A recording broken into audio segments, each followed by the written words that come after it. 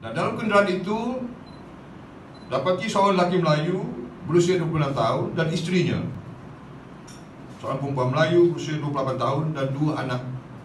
Seorang berumur 4 tahun perempuan dan seorang berumur 8 bulan.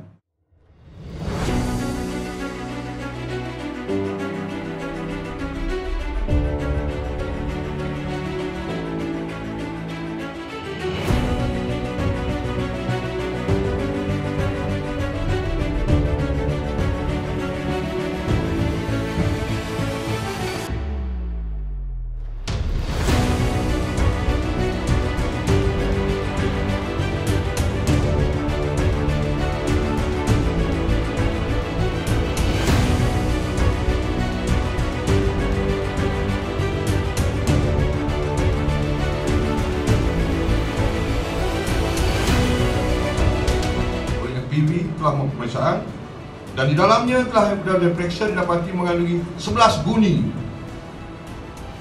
warna putih dan di dalamnya mengandungi setiap guni mengandungi 24 bungkusan yang dipercayai dadah jenis sabu.